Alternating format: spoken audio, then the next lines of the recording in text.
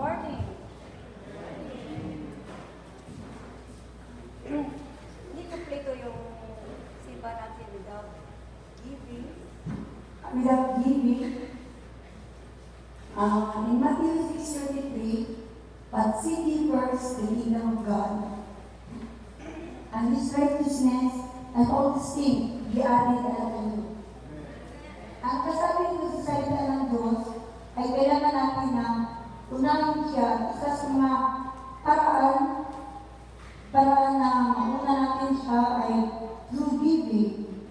Tithes and offering. Kung unahin natin ang Diyos gamit ang pagbibigay, Prinamis niya na ang i-place niya tayo at tutulungan tayo sa mga needs natin. Amen? Amen. Uh, let us pray. Lord, thank you for this wonderful day that you have given to us so we can return what belongs to you.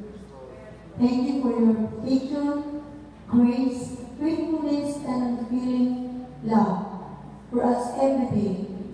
As we will give our tithes and may you continuously bless and sustain us.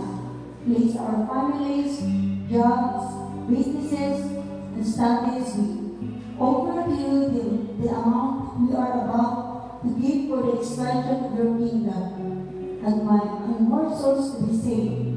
We give you all the praise and glory for everything that you have, that you have done, and, things that you are yet to do. This we pray in your most powerful name. Amen.